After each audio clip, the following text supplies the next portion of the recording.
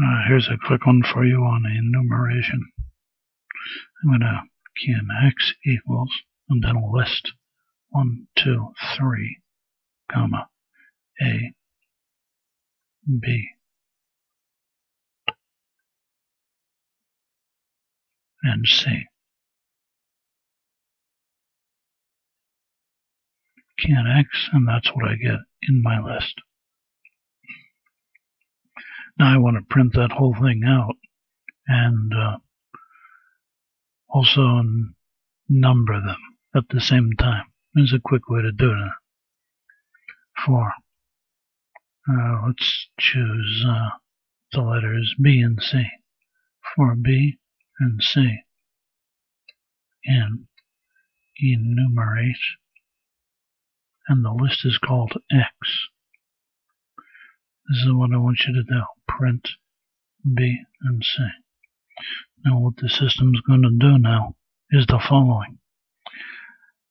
It's going to run through X, assign X's value, 1, to C, and it'll, and it'll start count, it'll start, uh, it'll initialize B with 0, and then automatically increment it with each printout.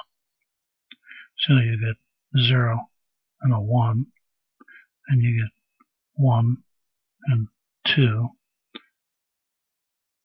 and 2 and 3, and then 3 and A, and then 4 and B, and then 5 and C.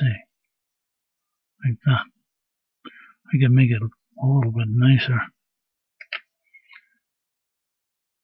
by putting in uh, a comma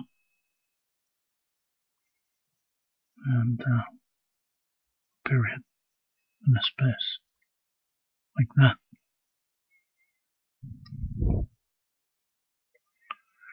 Alright, let's see what happens now. So, one, two, three, four, five items, and here they are, one, two, three, A, B, C. That's what we have here in our list. Well, the problem with this is it's a little bit extra space there. Let's fix that now. We'll key in take B and convert it to a string.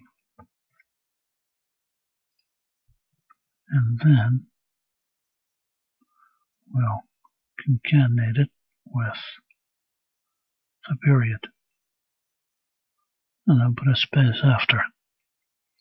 And then C, a comma in see. Well, that should do it. Make it look a little bit nicer. And indeed, that does look a little bit nicer.